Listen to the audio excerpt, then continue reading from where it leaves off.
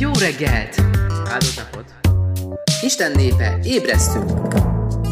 Győztes, sikeres, áldott, teljes, királyi papság és szent nép. Isten népe, ébresztő! Nagyon nagy szeretettel köszöntelek titeket, gyönyörű napunk van, Isten kegyelméből.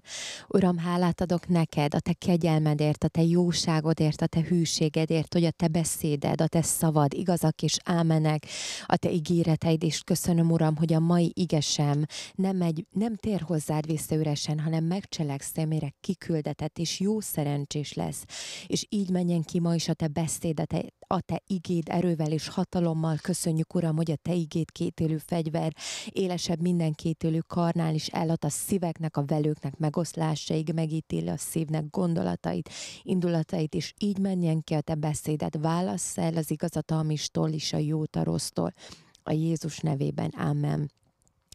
Az igével kapcsolatban van egy nagyon kedves igerész, amikor azt mondja az ige, hogy Sámuel Isten beszédéből egyet sem ejtett, egyet sem engedett Isten beszédéből a porba hullani.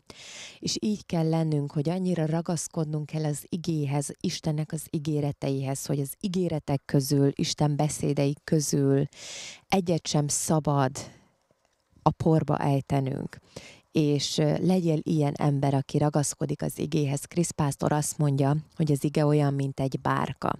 És hogyha a bárkán vagy, hiába jönnek az esők, az árvíz, és a viharok, akkor is fennmaradsz a vízen. Azt mondja, hogy ragaz magad az igéhez, és az ige győztessé tesz téged.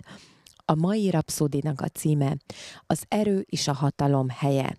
De az Isten gazdag lévén irgalmasságában, az ő nagy szerelméből, melyel minket szeretett, minket, ki meg voltunk halva a védkek miatt, megelevenített együtt Krisztussal, kegyelemből tartattok meg, és együtt feltámasztott, és együtt ültetett a mennyekben Krisztus Jézusban.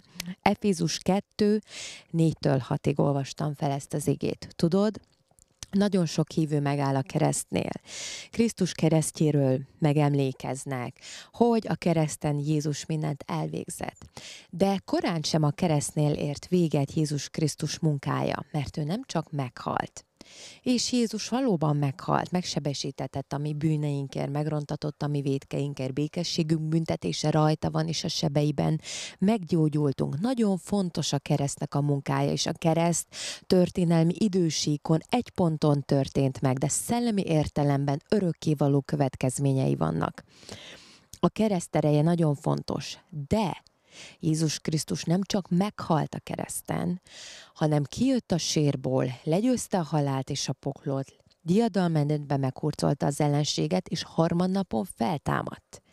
És azt mondja az ige, feltámadt, ami megigazolásunkért.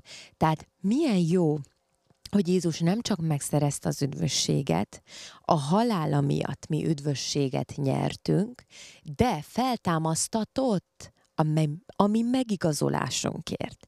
Tehát a kereszterej, a keresztereje nagyon fontos, de a kereszt után van még egy erő, ami munkálkodik a feltámadásnak az ereje.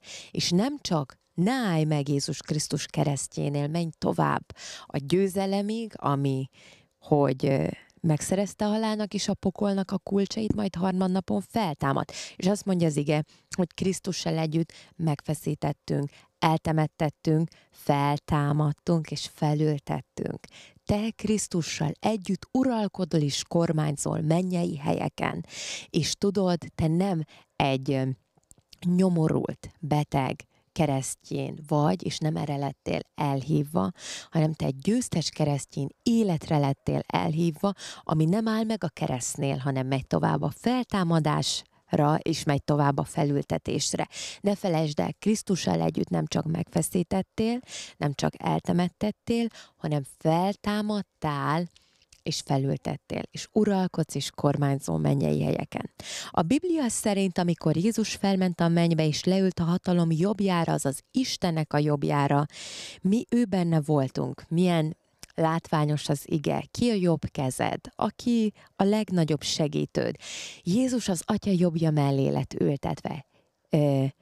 Jézus Istennek a jobb keze valójában. Ezért a jobb keze felelül Mi ő benne voltunk, tehát ő vele együtt ülünk az erő és a hatalom helyén. Ezért adta nekünk Isten Jézus nevét, hogy éljünk általa, és hogy használjuk a földön, mert ő a mennyben képvisel minket, mi itt a földön Jézus nevében megyünk előre, állunk, és érvényesítjük az atya akaratát, a mennyben azonban az ő nevére adunk választ.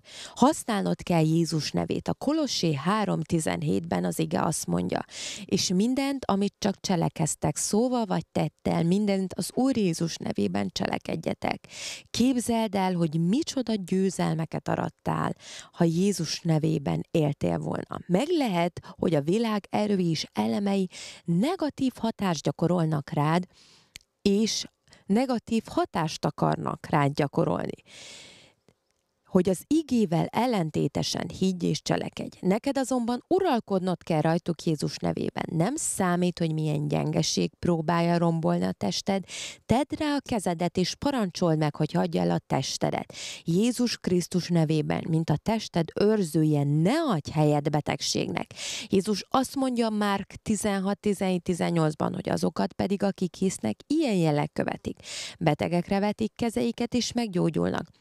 Továbbá azt is mondja, hogy betegeket gyógyítsatok, poklosokat tisztítsatok, halottakat támasztatok, démonokat üzzetek.